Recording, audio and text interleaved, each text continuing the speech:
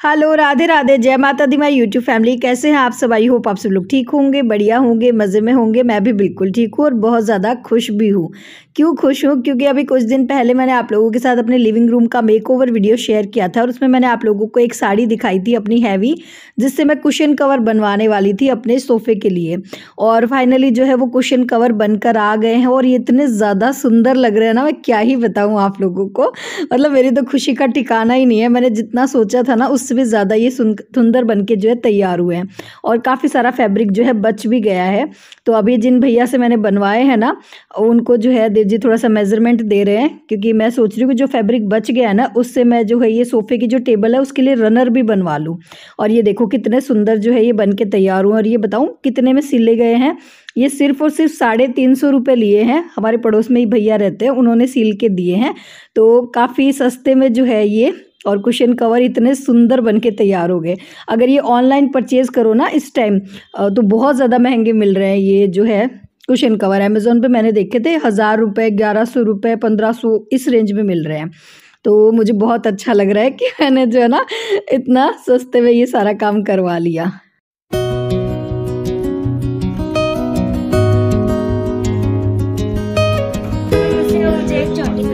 Birthday के लिए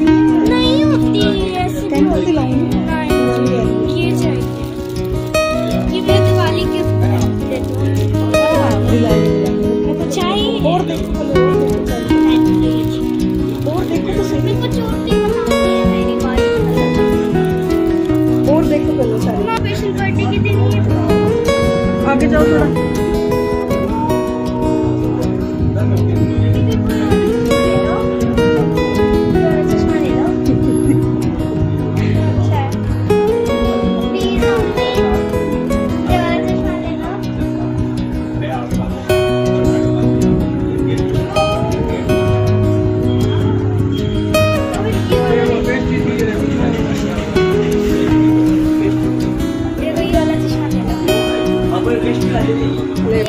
खुशी खुशी में मैं आप लोगों को बताना ही भूल गई कि ये कौन से डे का व्लॉग है। वैसे तो काफ़ी सारे सब्सक्राइबर मेरी ये ग्रीन वाली साड़ी देखकर समझ गए होंगे कि ये नवरात्रि के फोर्थ डे का ही व्लॉग है। तो काफ़ी लेट मैंने व्लॉग स्टार्ट किया था उस दिन, क्योंकि वो भैया कुशन लेकर आए ना तो उसी टाइम मेरा ये हुआ कि ये चीज़ तो मुझे सबसे पहले आप लोगों को दिखानी है तो मैंने तुरंत जो है ब्लॉग अपना स्टार्ट कर दिया था। और उसके बाद जो है हम लोग आ गए थे, ये हमारे घर के पास ही जो है न्यू शॉप की ओपनिंग हुई है, जिसका नाम है बर्थडे स्पेशल मतलब इस शॉप पे जो है आप लोगों को बर्थडे डेकोरेशन के सारे आइटम्स जो है ना, बहुत ही बढ़िया मिल जाएँगे। और हमारे घर के बिल्कुल पास ही है तो अब जब भी मुझे भी अपने घर में डेकोरेशन करनी होगी ना तो मैं यहीं से ले लूँगी। तो ये देजी के फ्रेंड है और उन्होंने जो है ये न्यू शॉप की ओपनिंग करी थी तो वहाँ पर हम लोग आ गए थे। देजी बोले, चलो, थोड़ा सा चलते हैं बाहर। तो साँझ की आरती वगैरह हमने कर ली थी मतलब अभी थोड़ा सा लेट ही नाइट हो रहा है, करीबन रात के नौ बज रहे हैं और नौ बजे हम लोग यहाँ पर आ गए थे। और ये है बर्थडे स्पेशल बाकी यहाँ पे जो है बर्थडे का डेकोरेशन का जो भी आइटम्स है वो मिल जाएँगे केक मिल जाएगा। इसके अलावा हल्दी डेकोरेशन अगर आपको करवानी हो और मतलब इस तरह के घर में अगर हम छोटे मोटे फ़ंक्शन करते हैं ना, मेहंदी के फ़ंक्शन में भी आजकल डेकोरेशन होती है तो वो सब लोग, वो सब भी डेकोरेशन भी जो ना ये लोग करेंगे। तो इस तरह से इन्होंने स्टार्ट करी और काफ़ी अच्छा कलेक्शन था। बुलबुल को तो काफ़ी कुछ पसंद आ रहा था, पर वही था कि हमने दिलाया नहीं। इसको बस पेस्ट्री दिलाई थी और एक ये कॉटन कैंडी लेकर आई थी।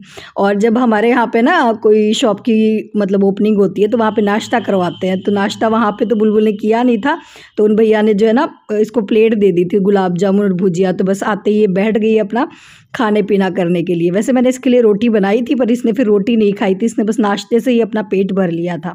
और इधर मैं और देजी आते ही लग गए हैं अपने काम पर। हाँ जी तो सुबह पूजा में बहुत ज़्यादा लेट ना हो, क्योंकि बुलबुल को भी सुबह टाइम से स्कूल भेजना होता है, मुझे उसका टिफ़िन भी बनाना होता है, देजी को भी बहुत सारे काम होते हैं।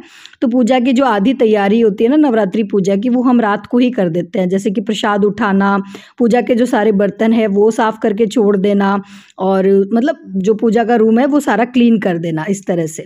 और बस रात के बाद अभी सीधा नेक्स्ट डे आप लोगों को मॉर्निंग में ही मिल रही हूँ मैं, और सीधा अपनी रसोई से मिल रही हूँ, यहाँ पर मैं बना रही हूँ बुलबुल के लिए टिफ़िन तो मैंने सारे घर की साफ़ सफ़ाई कर दी है और उसके बाद मैं नहा कर आ गई हूँ सीधा किचन में।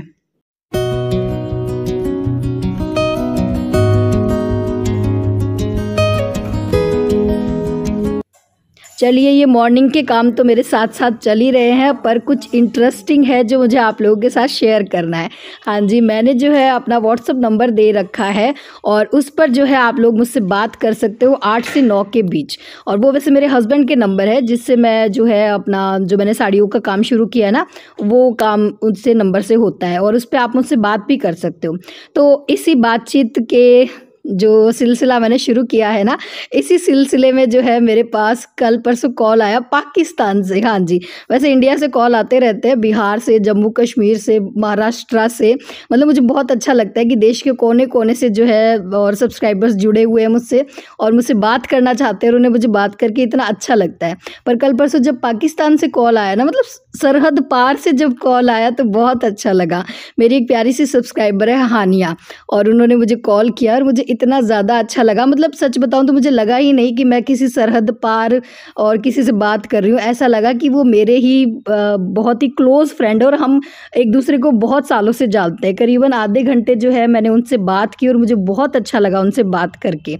और उस एक आधे घंटे में जो है, आधा भी नहीं, एक घंटा हो गया होगा। आधे एक घंटे में हमने काफ़ी सारी चीज़ें जो है शेयर कर ली थी और काफ़ी अच्छा मतलब उनकी सोच मुझे लगी।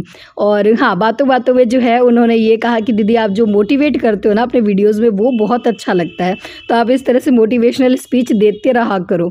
और नेगेटिव पीपल्स को जो है, आप नेगेटिव कमेंट्स आते हैं तो उनको आप किस तरह से फेस करते हो, क्या करते हो, हमें भी थोड़ा सा और बताइए। तो मैं सच बताऊँ ना मेरे मेरे व्लॉग्स पर दो चार लोग तो ऐसे हैं जिनका जब तक वो मेरे व्लॉग्स पे ना आए नेगेटिव कमेंट ना करे ना तो उनका दिन ही ख़त्म नहीं होता है।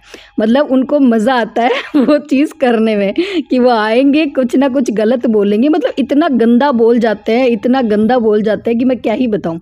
हालाँकि मैं जो उन कमेंट्स को रखती नहीं हूँ, मैं डिलीट कर देती हूँ। अभी कुछ ही दिन पहले कमेंट आया था, गाँव की गंवार औरत, अनपढ़ कहीं की अंधविश्वास फैला रही है और पता नहीं कौन सी सदी में जी रही है सुबह सुबह उठकर आ जाती है झाड़ू लेके। और तो कुछ काम है नहीं इसके पास। ये वो फलाना डिमकाना पता नहीं कितनी बातें उन्होंने बोली है। तो जी नेगेटिव जो लोग होते हैं, वो सबकी लाइफ में होते हैं। नेगेटिव जो बोलने वाले होते हैं टॉन्ट मारने वाले होते हैं, आपको टीस करने वाले होते हैं, आपको मिलेंगे ही, सब जगह मिलेंगे। अगर आप कहीं बाहर कुछ काम कर रही हैं जॉब कर रही है, वहाँ पे भी मिलेंगे। अगर आप कुछ घर का काम कर रही है तो घर में भी होते हैं। कोई ज़रूरी नहीं है, बाहर के लोग ही आपको टीस करेंगे या टॉन्ट मारेंगे। घर के भी रिश्तेदार भी होते हैं, घर के जो मेंबर्स होते हैं, वो भी एक दूसरे में इस तरह से नेगेटिव बातें बोल जाते हैं तो उनको, उनसे डील हमें किस तरीके से करनी चाहिए? चलो आप आज इसका मैं बढ़िया सा आपको फंडा बताती हूँ। पहले जब मुझे कोई नेगेटिव बोल के जाता था ना, मुझे बड़ी टेंशन हो जाती थी। मैंने बहुत खुद को बदला है। अब मैंने क्या करना शुरू कर दिया मैं एक सीधा सा मंत्र बताती हूँ आपको, इन नेगेटिव पीपल से डील करने का, कि इग्नोर करना शुरू कर दो। ठीक है? अगर आपने इनको इग्नोर अवॉइड करना शुरू कर दो इनको क्या होता है कि अगर आप इनको जवाब दोगे ना तो इनको एनर्जी मिलती है, इनको ये बूस्ट होते हैं। अगर आप इनको सामने से जवाब दोगे ना तो इनको बहुत ज़्यादा फिर एनर्जी मिलती है। ये और गलत आके कमेंट करेंगे। और अगर आपने इनको इग्नोर करना शुरू कर दिया ना तो फिर इनको ऐसे लगेगा, अरे यार, इसको तो कोई फ़र्क ही नहीं पड़ रहा है। ये तो कुछ बोल ही नहीं रही है। तो फिर वो अपने आप ही चुप हो जाएँगे। ठीक है? तो नेगेटिव पीपल से डील करने का सबसे बढ़िया तरीका यही है कि उनको उनके हाल पे छोड़ दो। उनको इस तरह से अपनी ज़िंदगी से निकाल दो कि जिस तरह से चाय में मक्खी गिर जाती है तो हम पूरी चाय ही फेंक देते ना। बस उसी तरह से उनको फेंक दो अपनी ज़िंदगी से। जितना आप इनको जवाब दोगे, इनको मज़ा आएगा और ये फिर और ज़्यादा आप जो है आप लोगों, क्योंकि इनका काम ही यही है। इनका काम दुनिया में आना यही है कि दूसरों को हम किस तरह से परेशान करें। तो परेशान होना ना होना वो हमारे हाथ में होता है, ना कि उनके हाथ में होता है कि वो हमें परेशान कर पाए। अगर हम परेशान होंगे ही नहीं, अगर हम उनको इग्नोर करना शुरू कर देंगे ना तो फिर वो खुद ब खुद परेशान होकर आपसे दूर चले जाएँगे।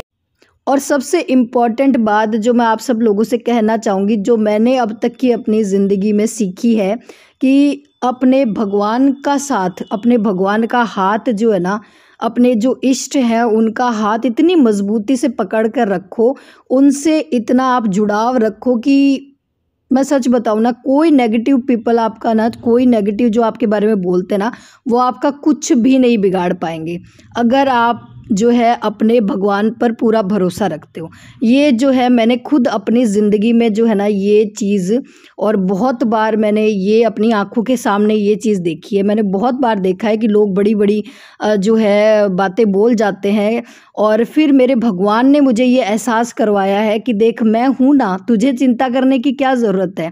मतलब मैं हूँ ना संभालने के लिए तुझे।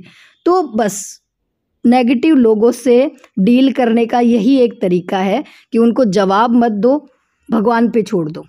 उनको अवॉइड करो और जो भी उनके साथ होना है, जो करना है, वो आप मत करो। ठीक है? आपको भगवान ने भेजा है अच्छा रहने के लिए। आप अपनी अच्छाई को ख़राब मत करो दूसरों की बुराइयों से। ठीक है ना? अगर कोई बुरा है तो वो बुरा है, ठीक है? उसको रहने दो बुरा। पर खुद उसके लिए वो बुरे मत बनो। ठीक है तो ये चीज़ मैंने जो है और सीखी है और इसी तरह से जो है मैं नेगेटिव लोगों को और आजकल अपनी लाइफ में हैंडल करती हूँ और मैं बहुत ज़्यादा खुश रहती हूँ। और कमेंट्स तो मैं कह रही हूँ ना, इतने भर भर के आते हैं, पर मैं डिलीट कर देती हूँ उन लोगों को और ना ही मैं कोई जवाब देती हूँ। खैर जी, देखो, बातें करते करते और आप लोगों से मैंने कितने सारे काम कर लिए। बुलबुल आ गई थी स्कूल से और स्कूल से आने के बाद वो सुबह नहा कर नहीं गई थी तो मैंने उसको एलोवेरा जेल लगा दिया है सर में क्योंकि उसके बाल थोड़े से अभी जो है रुखे रुखे से बेजान से हो रहे हैं तो एलोवेरा जेल जो है थोड़ा सा सूखी सूखी सी पत्तियाँ थी तो मैंने उसका जेल नहीं निकाला, मैंने डायरेक्ट ही पीस कर उसको लगा दिया है। इससे भी फ़ायदा मिल जाता है अच्छा खासा। और अभी आधे घंटे रखेगी वो और उसके बाद मैं उसको नहला दूँगी।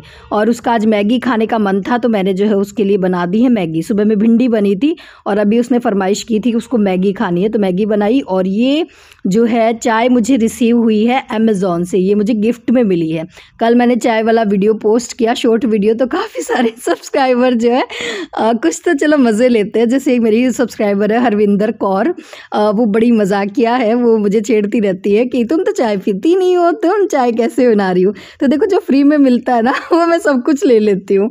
तो ये मुझे फ्री में ही मिला है और ऐसा नहीं है कि मैं चाय पीती नहीं हूँ। अभी मौसम काफ़ी यहाँ पे हमारे यहाँ पे थोड़ा ठंडा ठंडा हो गया है तो कभी कभी चाय पीने का मन करता है। गर्मियों में तो मैं बिल्कुल भी नहीं पीती पर हाँ सर्दियों में जैसे महीने में एक दो बार मैं चाय पी भी लेती हूँ। तो ये मुझे अमेज़ोन से रिसीव हुई है और अभी मैं जो है इसका आपको रिव्यू देने वाली हूँ बढ़िया सा कि ये चाय किस तरह की है। तो एक, दो पैकेट मुझे मिले हैं। एक पैकेट मैंने एज इट इज़ छोड़ दिया है और एक पैकेट को मैंने फिल कर लिया है डिब्बे में। और वैसे देखो, चाय मैं नहीं पीती हूँ, पर हमारे घर में जो अनिल रहता है ना, उसे चाय का बड़ा शौक है। वो बड़ा शौकीन है चाय का। उसे पूरा ग्लास भर के चाय चाहिए होती है। तो उसके लिए चाय बनती ही है मेरे घर में तो चाय पत्ती यूज़ हो ही जाती है। तो फिर मैंने अमेज़ोन को हाँ कर दी। मैंने कहा, चलो भी भेज दो भेज दो चाय और आ जाएगी मेरे घर में यूज़ और इधर जो है चाय बना ली थी और वैसे ऐसे तो मैं चाय पीती नहीं हूँ, पर जब पीती हूँ तो गिलास भर के पीती हूँ। ये है मेरे अंदर। तो मैंने जो है चाय पी ली और थोड़ा सा मिक्सचर ले ली थी ये व्रत वाली। तो बस यही दिन में ले लेते हैं क्योंकि व्रत चल रहे हैं और चाय का टेस्ट बड़ा अच्छा था। मैं जो है इसको फाइव स्टार दूँगी। अगर आप लेना चाहते हो अगर आप चाय के शौकीन हो तो आप डेफिनेटली जो है ले सकते हो। तो कलर तो बहुत ज़्यादा इसका डार्क नहीं आएगा। नॉर्मल सा कलर आता है पर आ, मतलब बहुत ज़्यादा स्ट्रॉन्ग नहीं रहती है ये पर टेस्ट बहुत अच्छा है इसका। और उसके बाद मैंने जो है टिफ़िन पैक कर दिया था अनिल का और पतिदेव का। और अब कर लेते हैं थोड़े से सर्दियों की तैयारी कर लेते हैं। हाँ जी सर्दियाँ आने वाली है और सर्दियों में जो है धनिया बोया जाता है। तो यहाँ पे मैं धनिया बो रही हूँ अपने घर पे ही। वैसे तो देखो मेरे घर में बहुत सारी जगह है, मेरा इतना बड़ा घर है, पर धनिया बोने के लिए जगह नहीं है। मतलब जितनी भी नीचे कच्ची जगह है ना, वहाँ पर जो है पतिदेव ने सारे पेड़ पौधे तुलसी मैया लगा रखी है। मतलब मेरे घर में इतनी ज़्यादा तुलसी है कि आप गिनने बैठोगे ना तो मतलब गिनी नहीं पाओगे, इतनी ज़्यादा तुलसी है। तो भगवान जी की बहुत अच्छी कृपा है हम पे कि इतनी सारी तुलसी है मेरे घर में। तो फिर तुलसी को उखाड़ कर और मैंने सोचा धनिया तो बो नहीं सकते तो मैं जो है धनिया, जो भी मेरे जो चीज़ें होती है वो मैं अपनी बालकनी में ही लगा लेती हूँ। तो ये जो है एक टब है, जो मेरी मम्मी ने लेके दिया था मुझे पुरानी साड़ियों में। मेरी जो पुरानी साड़ियाँ होती है ना जो थोड़ी सी फट वट जाती हैं तो उनसे जो है मैं हमारे यहाँ पे तो नहीं मिलता, पर मैं मम्मी के पास भेज देती हूँ और मम्मी जो है उनसे मुझे ये और टब वगैरह ले देते हैं।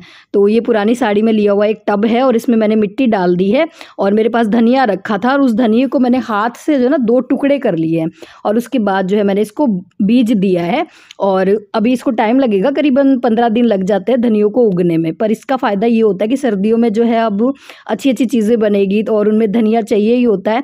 तो बस जब अगर घर का धनिया हो तो तुरंत काटा और हमने जो है सब्ज़ी में दाल में डाल लिया, बहुत अच्छी खुशबू आ जाती है। तो आज मैंने ये काम कर लिया।